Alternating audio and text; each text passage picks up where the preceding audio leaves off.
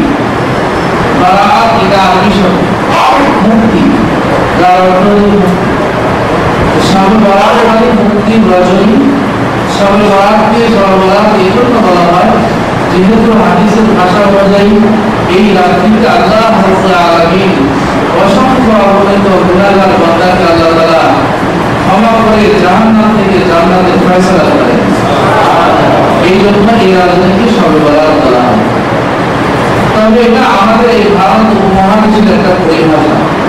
হাদিসের ভাষ্য অনুযায়ী, এটাকে নিসফু মিন শাবান। লাইলাতুন নিসফু মিন শাবান। অর্ধ শাবানের রজনী, অর্থাৎ রমজানের আগের যে মাস, বর্তমান চলমান মাস এটাকে শাবান মাস বলা হয়। এই মাসের চোদ্দতম দিনকে যে রাত্রি আমাদের কাছে আসবে সেই রাত্রিকে লাইলাতুল নিসফি মিন বলা হয়। আল্লাহ রাব্বুল আলামিন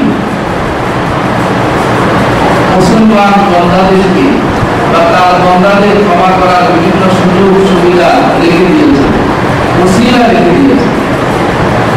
আল্লাহ রাব্বুল আলামিন ক্ষমার একটা সাধারণ ক্ষমা ঘোষণার একটা মহৎ সময় এই লাইলাতুল নিসফি মিন শাবান শাবানের পূর্ণতম রজনী? এই রজনীতে আল্লাহ রাব্বুল আলামিন হাদিসে পাকে এসেছে যে বনি কাল একটি পুত্র ছিল যাদের অসংখ্য অসংখ্য ছাগল বকরি ছিল। তো হাদিসের ভাষায় আল্লাহ রসুল বলেন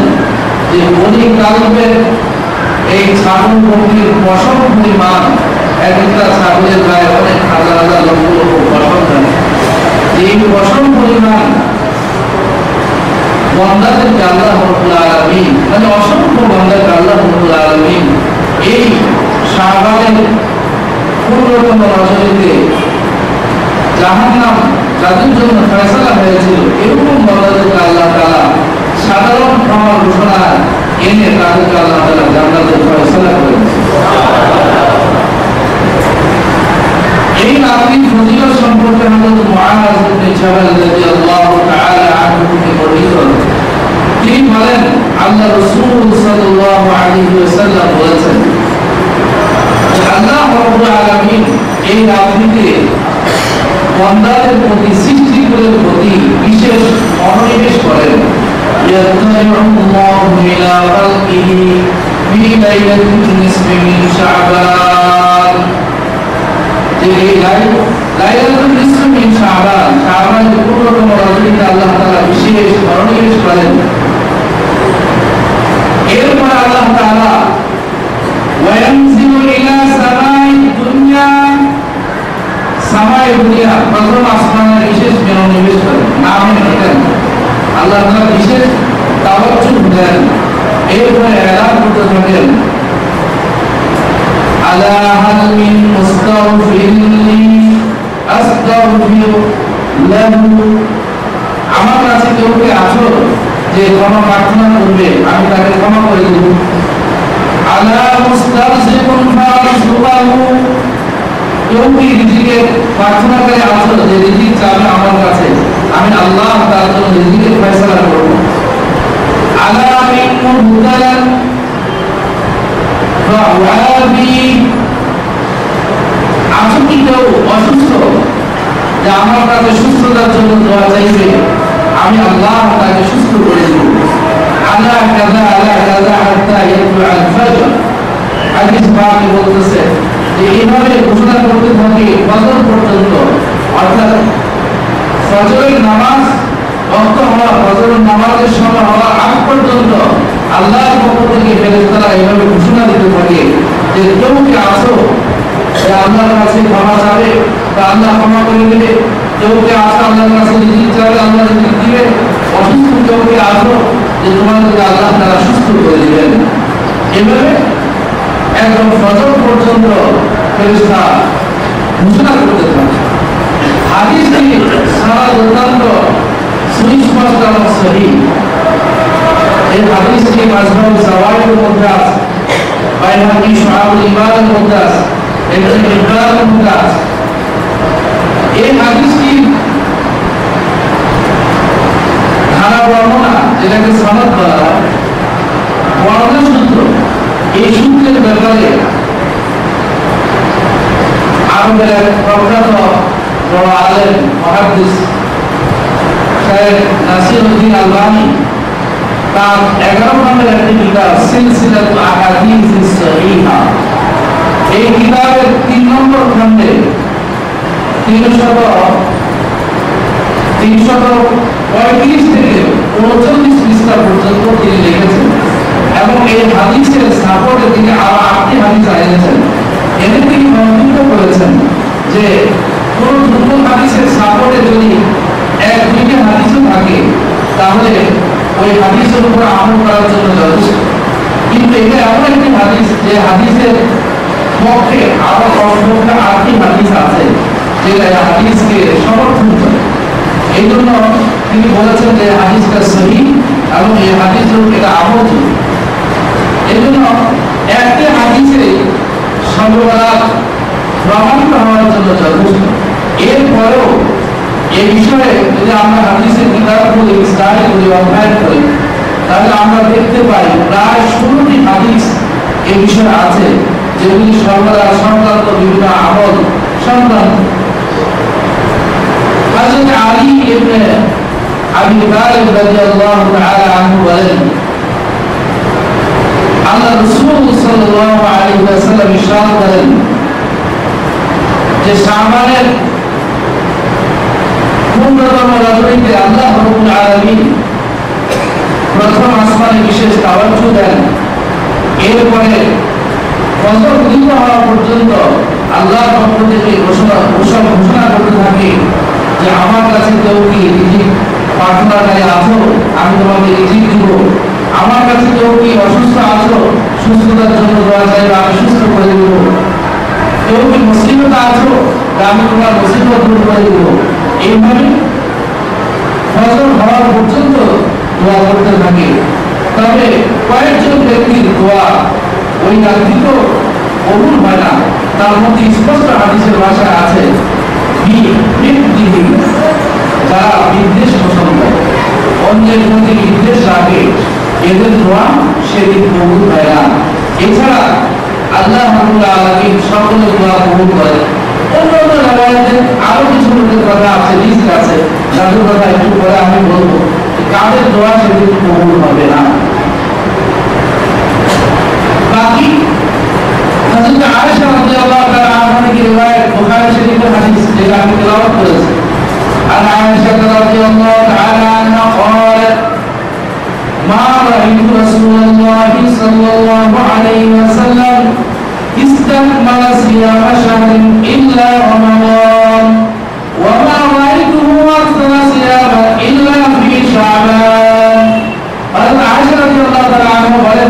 যে আমি আল্লাহ রাসূল সাল্লাল্লাহু আলাইহি ওয়াসাল্লামকে রমজান ব্যতীত অন্য কোনো মাসে, পুরো মাস রোজা রাখতে আমি দেখি এরপরে বলছেন, আল্লাহ রসুল সাল্লাল্লাহু আলাইহি ওয়াসাল্লাম রমজান ছাড়া যে মাসে সবচেয়ে বেশি রোজা রেখেছেন সেটা হলো শাবান।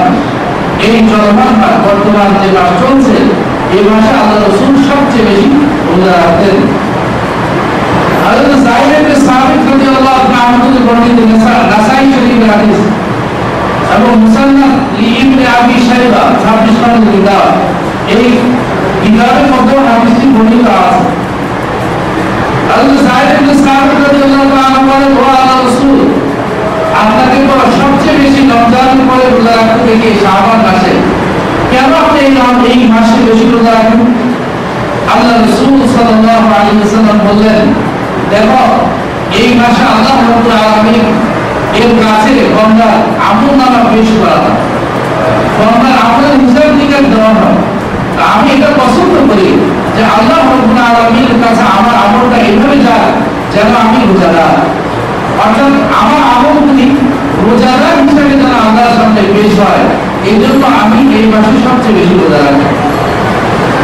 তাহলে এই শাবান মাসের তাৎপর্য, গুরুত্ব এই দুটি হাদিসে যথেষ্ট ছিল। বুখারী রওয়ায়াত নাসাই শরীফের রওয়ায়াত যে এই দুইটি হাদিস কথা প্রমাণ মনে করে যে শাবান মাসটা অত্যন্ত গুরুত্বপূর্ণ, তাৎপর্যপূর্ণ এবং মুসলিম সমাজের কাছে অত্যন্ত গুরুত্বপূর্ণ।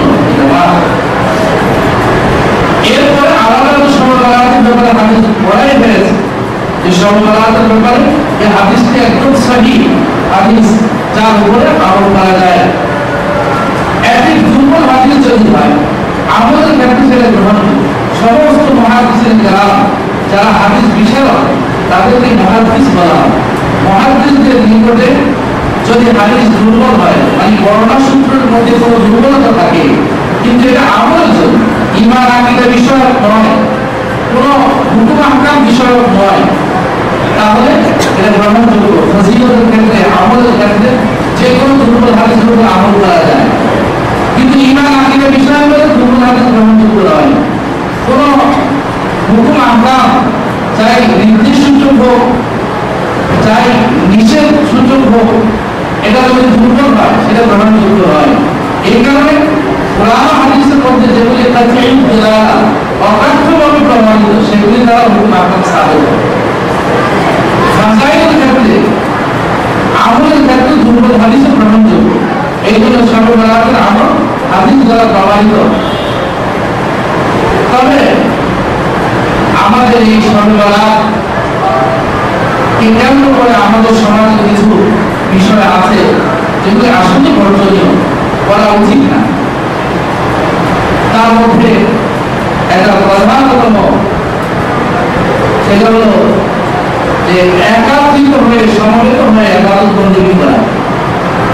এগুলি শরীয়তে নিষেধ মসজিদে সমবেত হয়ে একাত্রিত হয়ে এবাদত বন্দী করা কোথাও নেই। একাকীভাবে আবাদত করুন। আল্লাহ দিয়েছেন যে আল্লাহর সাথে বান্দা খাস সাক্ষাৎ, বিশেষ সাক্ষাৎ জানাবে কোন রাজা বাদশা আপনাকে যদি আমন্ত্রণ জানায়, অর্থাৎ বাংলাদেশের প্রধানমন্ত্রী, আপনাকে সাক্ষাতের জন্য আমন্ত্রণ জানাইব আমন্ত্রণ পত্রের মধ্যে লেখা আছে যে একাকে আমার সাথে সাক্ষাৎ করতে হবে। আপনি আপনার বন্ধু বান্ধব আত্মীয় স্বজন অনেকগুলি নিয়ে গেছেন তাহলে আপনি সাক্ষাৎ পাবেন না, যেহেতু শর্ত ভঙ্গ করছে সর্ববেলাতের ক্ষেত্রে বিষয়টি এমন আল্লাহ রবুল আলমিনের সাথে একাকি এবাদত করার জন্য, অর্থাৎ নফল এবাদত বন্দী সমস্ত নফল এবাদত বন্দীর ক্ষেত্রে শুধুমাত্র রমজানের তারাবি নামাজ আরও কয়েকটি এবাদত আছে যেগুলি সমষ্টিগতভাবে করা যায়। এছাড়া সমস্ত নফল নামাজ নফল এবাদত বন্দী এগুলি একাকি করতে হবে। এটা আল্লাহর সাথে বিশেষ সাক্ষাৎ। এই সাক্ষাতে কাউকে অংশগ্রহণ করানো যাবে না, কাউকে সাথে নেওয়া যাবে না। যদি নেওয়া হয়, তাহলে সাক্ষাৎ বাতিল বলে গণ্য হবে। এই জন্য আল্লাহ রব্বুল আলমিনের সাথেও বিশেষ সাক্ষাতে সবে হলো নফল এবাদত বন্দী মানা এই জন্য বিশেষভাবে সর্বরাতকে কেন্দ্র করে সমষ্টিগতভাবে কোনো এবাদত বন্দী করা যাবে না।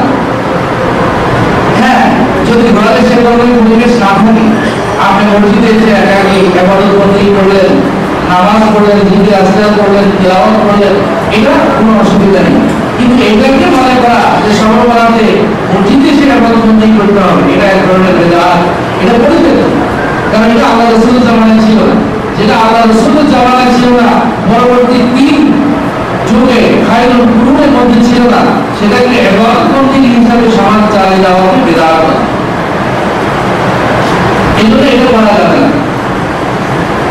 তাহলে আমরা করব কি? আমাদের করণীয় কি কি কাজ? সবগুলি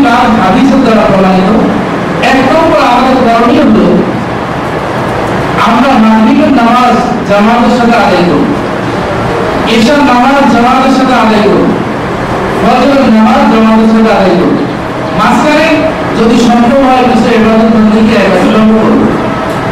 যদি সম্ভব না হয় তাহলে অন্তত ঘুমাবো, সমষ্টিগত এবাদত থেকে ঘুমানো আরও ভালো। কারণ হাদিসে বাতের মধ্যে এসেছে সেই হাদিস, কেউ যদি এসব নামাজ জামাতের সাথে পড়ে তাহলে তার আমল নামায় অর্থ আর নফল নামাজ নফল ইবাদত করা সব আল্লাহ দেন কেউ যদি ফজরের নামাজ জামাতের সাথে আদায় করে, তো বাকি অর্ধেক বা নফল ইবাদত বন্দী করা সব আল্লাহ তাআলা তার আমল নামায় লিখে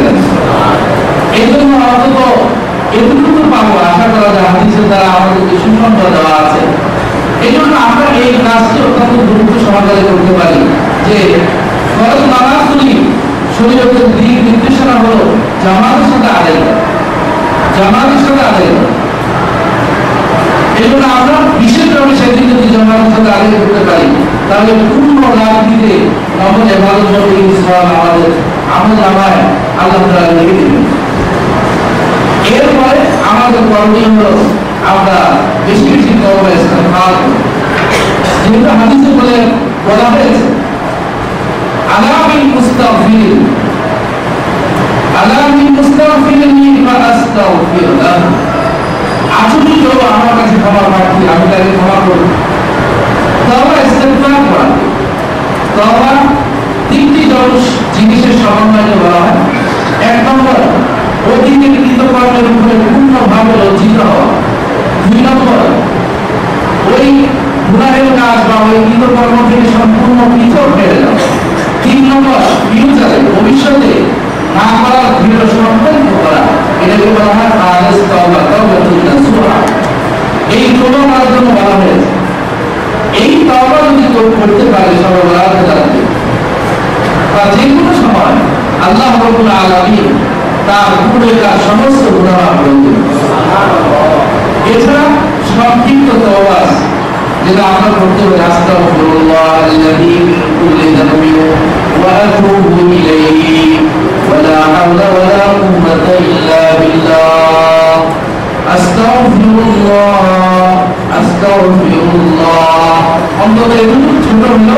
আমরা পারি। আর যদি একটু পাই আস্তাগফিরুল্লাহ الأرض وأتوب إليه ولا حول ولا قوة إلا بالله عقل عرب استند للقرد زي قوم القرد زي قال سيد الاستغفار على رسول سيد الإسلام اللهم أنت ربي لا إله إلا أنت غلبتني وأنا عبدك وأنا على عهدك ووعدك ما استطعت أعوذ بك من شر ما صنعت أبو لك بنعمتك علي وأبو لك بذنبي এই দোয়াটি আমরা শিখে নিতে পারি আরো আছে করতে পারি আমরা হাদিস দোয়ার মধ্যে এসেছে এই দোয়ার ব্যাপারে বুখারী রিওয়ায়াত মুসলিম শরীফ রিওয়ায়াত সহিহ সহিহ হাদিসের কিতাবের মধ্যে এসেছে কাহার যদি বিষ্ণু জাবাদি বাহা সমুদ্রের ফেনা পরিমাণ বোঝা থাকে সমুদ্রের ফেনা এটা অনেক অগণিত সমুদ্র যেরকম বলে পৃথিবীর সেভেন্টি ফাইভ পার্সেন্ট হলো পানি সমুদ্রের মধ্যে নদী নালা সমুদ্রের মধ্যে এই ফেনাও অনেক এই পরিমাণ অর্থাৎ অনেক গুণা যদি তার আমল আমার থাকে আর যদি সকালে এবং বিকালে যে এই সাইদুল ইস্তেগফার করে তা আল্লাহ রাব্বুল আলামিন তার পূর্বে তার সমস্ত গুনাহ মাফ করে দেন দুই নম্বরে আমরা এই কাজটি করতে পারি। যে বেশি বেশি তওবা ইস্তেগফার এই বরাত রাতে সবে বরাতে আমরা করতে পারি। তিন নম্বর, নফল নামাজ বেশি বেশি আমরা করতে পারি। নফল নামাজের ক্ষেত্রে মুসলিম মুমিনের দিক নির্দেশনা সম্পূর্ণ ভ্রান্ত। এটা একটা অগ্রহণযোগ্য কিতাব। চলে আসছে সমাজে চলছে। যারা ব্যবসায়ী তারা ছাপাচ্ছে, ব্যবসা করতেছে। কিন্তু এতে যে বিশেষ সর্ববেলাতের নামাজ সর্ববেলাতের নামাজ মুখ নামাজ মুসুলাতি করতে হবে এটা সম্পূর্ণ বিভ্রান্তি শরীরে এর কোনো প্রভাব, কোনো কিছুই নেই। আপনি যে সুরা পারেন, যে আয়াত পারেন, সেটা দিয়ে আপনি সর্ববেলাতে নকল নামাজ আদায় করতে পারবেন। কোনো অসুবিধা নেই। আপনি তিন চারটা সুরা পারেন, ওইগুলি ব্যবহার করেন চারটা অন্তত পারলে চার এগারো চারটা পড়লেন। এইভাবে আপনি নকল নামাজ পড়তে পারেন। নকল নামাজের দ্বারা বন্দা আল্লাহ রব্বুল আলামিনের খুবই নিকটতম হয়ে যায়। সূরা আয়াতের মধ্যে আছে। আয়াতটি তেলাওয়াত করলে সেজদায় তেলাওয়াত দিতে হয় যদি তেলাওয়াত করবে একদম শেষ আয়াত আল্লাহ তাআলা বলতেছেন যে, তোমরা বেশি বেশি সেজদা করো, আর এই সেজদার মাধ্যমে আমার নৈকট্য অর্জন করো। একটা তো কম্পালসারি আমল, যে আবাদত করতেই হবে ফরজ নামাজ। এটা আমার ইচ্ছা আমার ইচ্ছা, আল্লাহর প্রদত্ত হুকুম পালন করতেই হবে। এর জন্য সব লেখেন লিখেছেন আল্লাহ তাআলা। কিন্তু এটা কম্পালসারি। কিন্তু নফল নামাজ এর দ্বারা আল্লাহ এটা আমাদের উপরে অত্যাবশ্যকীয় করেননি, কিন্তু এর দ্বারা বান্দা আল্লাহ অনেক নৈকট্য অর্জন করতে পারে। বুখারী শরীফ হাদিসের মধ্যে এসেছে যে বান্দা নফল ইবাদত বন্দেগীর মাধ্যমে আল্লাহর এত কাছে হয়ে যায় যে আল্লাহ রব্বুল আলামিনের কাছে সে যা চায় তাই আল্লাহ রব্বুল আলামিন দিয়ে দেন। আল্লাহ তাআলা তার সব আশা পুরো করে দেন। যেগুলি আল্লাহ তাআলা ভালোবার জানেন যে তার জন্য মঙ্গল হবে। সেগুলি আল্লাহ তাআলা পুরো করে দেন এত গুরুত্বপূর্ণ নফল নামাজ। এরপরে চার নম্বরে আমরা কোরআন করিমের তিলাওয়াত, হাদিস পাকের মধ্যে এসেছে। কেউ যদি কোরআনে কারীমের তিলাওয়াত করে, চাই সে অর্থ বুঝুক আর না বুঝুক। প্রতি হরফে আল্লাহ রব্বুল আলামিন তার আমল নামায় দশটি করে রেখে গেলেন হযরত ইবনে মাসউদ রাদিয়াল্লাহু তাআলা আনহু রওয়ায়াত করেন লা আকুলু আলিফ লাম মিম হারফুন بل أقول ألف حرف ميم حرف لام حرف যে আলিফ লাম মিম এটা একটা হরফ আমি বলিনি বলেন আলিফ একটা হরফ লাম একটা হরফ মিম একটা হরফ কেউ যদি আলিফ লাম মিম বলে তাহলে তিরিশটি নেকি আল্লাহ তাআলা তার আমল নামায় লিখে দিবে কোরআন কারীমের তিলাওয়াতের দ্বারা আল্লাহ রব্বুল আলামিনের সাথে কথোপকথনের একটা সুযোগ। আল্লাহ তাআলার কথা, কালাম। এই কোরআনের তিলাওয়াতের দ্বারা বান্দার অন্তরের জম দূর হয়, মরিচিকা দূর হয়। লোহার মধ্যে যেরকম পানি লাগলে মরিচিকা ধরে গুনাহ করলে মানুষের অন্তরের মধ্যে মরিচিকা ধরে মরিচিকা সৃষ্টি হয়। এই মরিচিকার ক্ষতিকর দিক ক্ষতিকর দিক হলো লোহাতে যেরকম মরিচিকা ধরলে লোহাকে নিঃশেষ করে দেয়, মানুষের অন্তরে মরিচিকা ধরলে মানুষ এই আগ্রহ হারিয়ে ফেলে। গুণাহের আগ্রহ প্রবণতা তার অন্তরে সৃষ্টি হয়। এই জন্য দেহ সুস্থ সবল, দেহরিয়া, চা দোকানে বসে বসে, টিভির সামনে বসে বসে আড্ডা দিচ্ছে। ওইদিকে আজান হচ্ছে, তার ইচ্ছা হয় না যে নামাজ পড়ে আসে। আর কত আল্লাহর বান্দা হাত নাই পা নাই, সে মসজিদের দিকে আমার ওই দিয়ে এসে আল্লাহর এই হুকুম পালনের জন্য আল্লাহর আহ্বানে হাইয়া সালাম দিয়েছে, এসে নামাজ করে যাচ্ছে কত অসুস্থ মানুষ আরেকজনের উপরে ভর করে এসে মসজিদে এসে নামাজ পড়তেছে। এটা পার্থক্য হলো যে অন্তরের চালিকা শক্তি গুণাহের কারণে নষ্ট হয়ে গেছে। এই জন্য সকলেই বুঝে যে এবাদত বন্দী করা দরকার। এটা ভালো কাজ, এটা করা দরকার।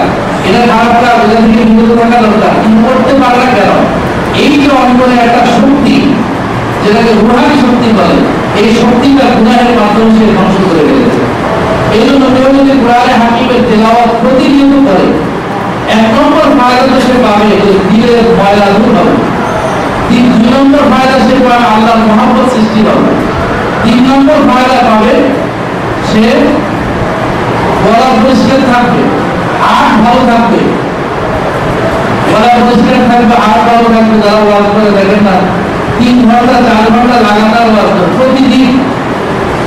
প্রতি বছরে প্রায় দুশোটা ওয়াজ কোন কোন দিন আছে, তিনটা পর্যন্ত ওয়াজ করে।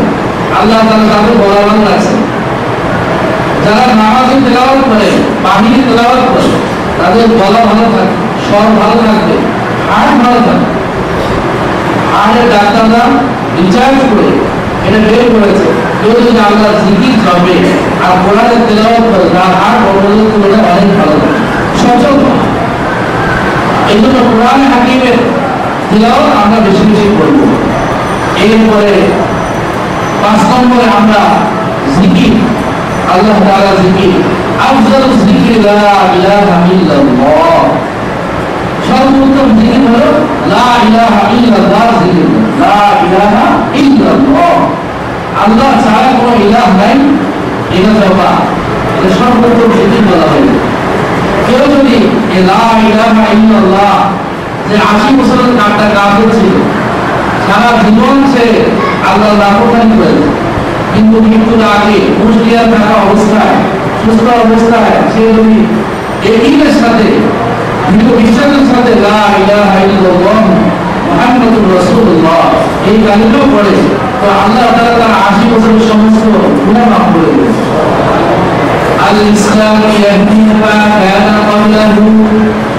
ইসলাম তার পূর্বতার সমস্ত গুনাহকে ধ্বংস করে দেয়। ইয়াহদি ধ্বংস করে দেয়। শব্দ ব্যবহার করেছে ইয়াহদি মা কানা যে সমস্ত গুণাগুলি ক্ষমা করে দেয়, নিঃশেষ করে দেয়, ধ্বংস করে দেয়। এই জন্য একজন মমিন, এই অহংকার করা ঠিক না যে আমি তো মমিন, আমি অনেক আমল আল্লাহ করে এতে হিন্দু। এতে মুসলিম। মুসলিম আল্লাহ তার অবস্থা কি করে? দেখা গেছে, মৃত্যুর আগ মুহূর্তে ইমাম গ্রহণ করে কালিমা পড়েছে, মৃত্যু গ্রহণ করেছে। এটা জান্নাতি হয়ে গেছে। এই জন্য কাউকে ছোট না মনে করা তার কাজকে ঘৃণা করা। গুণাহকারী যে গুণাহগার গুণাহকারী তাকে ঘৃণা না করা গুণাকে ঘৃণা এটা শরীরের নির্দেশ আমরা বেশি বেশি করব। এই আমলগুলি আমরা সর্বরাতে করতে পারি। দর্শনীয় আমলের মধ্যে একটা বলেছিলাম, দুই নম্বর যেটা আমরা প্রথম দর্শনীয় হলো যে আমরা সমষ্টিগত আবাদত করব না। দুই নম্বর দর্শনীয় আমল হলো আমরা এই রাত্রিকে কেন্দ্র করে কোনো ভিন্ন খাবারের আয়োজন করব না? এই রাত্রিকে কেন্দ্র করে যদি কোনো ভিন্ন খাবারের আয়োজন করা হয়, মিঠাই, চিনি অথবা হালুয়া রুটি বানানো হয় রুটি গোস্ত বানানো হয়, এই রাত্রিকে কেন্দ্র করে তাহলে এটা গুণা হবে এবং আমাদের মায়েদের গুরুত্বপূর্ণ একটা সময় নষ্ট হবে। একটা সময়ের অংশ এই অনেক কাজে নষ্ট হবে।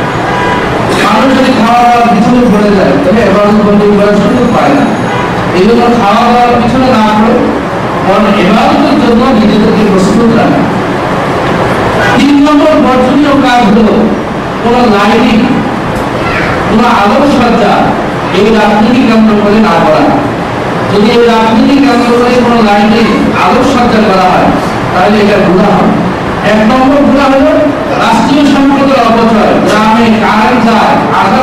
বন্ধ দেয় তারা গরমে কষ্ট পাচ্ছে। আপনি যদি অপচয় না করে তাদেরকে সুযোগ করে দেন এটা ব্যবহার করা। তাহলে এই রাষ্ট্রীয় সম্পদের অপচয় হবে না।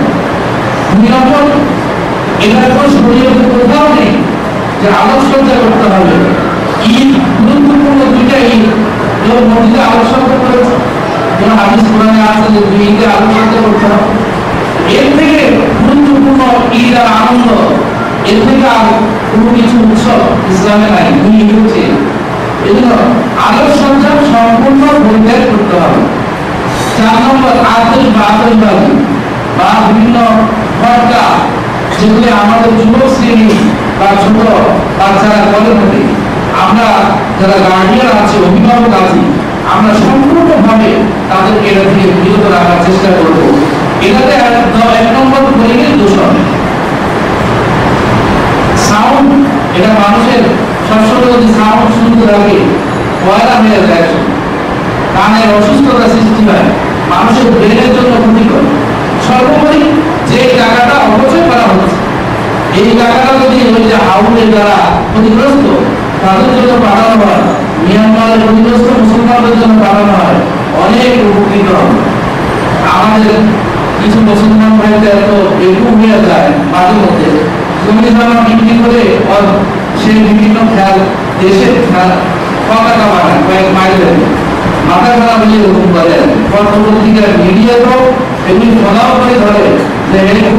আলোচনা করছে আর গরিব লোক দেখা যায়, প্রতিনিয়ত একবেলা তারা। সেই সমাজ মূলক কাজ যদি করতো তাহলে অন্তত নিয়ম না করলেও সমাজ উপকৃত হতো সমাজের নিয়ম করলেও সমাজ উপকৃত হতো সে আমাদের উপকৃত হতে হাদিস বাগের মধ্যে আসছে কেউ যদি কোনো মুসলমান ভাইয়ের হাজত প্রয়োজন করার জন্য নিয়োগ করে চেষ্টা করে, পূর্ণ কাজ এখন করতে পারে না নিয়োগ করে চেষ্টা করছে। মাজমাউ জাওয়ায়ের মধ্যে হাদিসটা আছে, সহি সনদের মধ্যে। আল্লাহ রাব্বুল আলামিন তার আমল নামার মধ্যে 10 বছর এবার ইন্তেকাল করার সওয়াব দেন সৃষ্টির সেবা খুব গুরুত্বপূর্ণ একটা ইবাদত। এই টাকাগুলি আতশবাজির পিছনে খরচ না করে আমরা গরিব দুঃখীদের পিছনে খরচ করি। আর সামনে যে খেলাধুলা আসতেছে, এগুলির পিছনে পতাকা যুবক ভাইয়েরা যদি এই উদ্যোগ নেয় যে আমরা এই দেশের দারিদ্র বিমোচন করব। হাওড় এলাকায় যারা ক্ষতিগ্রস্ত, তাদের জন্য প্রাণ দিব। এটা যদি করা হয়, অনেক সমাজ উপকৃত হবে দেশ উপকৃত হয়ে সমাজের মানুষ সমৃদ্ধিশালী হবে। আমরা এগুলি করার চেষ্টা করব। এই জন্য যে আতশবাজি এবং ভট্টাবাজি আমরা কোনোভাবেই করতে দিব না। আইন শৃঙ্খলা বাহিনীর পক্ষ থেকে নির্দেশ যদি কেউ করে, তাকে ভুলিয়ে দেব। আজকে এবার এটা করার জন্য নয়। আরও কিছু কিছু মসজিদে আরেকটি কাজ যেটা আমরা দেখি। অনেকেই মোমবাতি জ্বালা এটা হিন্দুদের থেকে আসে আমাদের চারুকলার সামনে গৌরদলায় রঘুনাথে মাংস হয়েছে ভারতীয় সংস্কৃতি আমাদের উপরে এত বেশি বসতেছে যেটা আপনি আদৌ কল্পনা করতে পারবেন তাদের জন্য আলাদা হবে কেন তোমার বাংলা চাইলে অন্যটা এ পর্যন্ত কোনো হিন্দু বা বিধর্মী সুন্দর হয়েছে, আপনার মাংস করছে অথচ কোরআন স্পষ্ট হারাম حرمت عليكم الميتة ولحم الخنزير স্পষ্ট কোরআনের বর্ণিত না আমরা মাংস করছি এই হিন্দুয়ানের সংস্কৃতি যেন আমাদের মধ্যে ঢুকতে দেওয়া হয় মঙ্গল প্রদীপ পাখি জ্বালানো তারপরে শিক্ষা চিরন্তন এগুলি মুসলিম সংস্কৃতির সাথে সাংঘর্ষিক এগুলি কোনো মুসলমান করতে পারে না কোন মুসলমান এদেরকে সমর্পণ করতে পারে না। আল্লাহ রব্বুল আলামিন আমাদের সকলকে এই সর্বরাতের করণীয় গুলি করার তৌফিক দান করুন এবং অর্জনীয় কাজ থেকে সকলকে হেফাজত থাকার তৌফিক দান করুন। সকলে বলে আমিন ওয়া আখিরু দাওয়ানা আলহামদুলিল্লাহ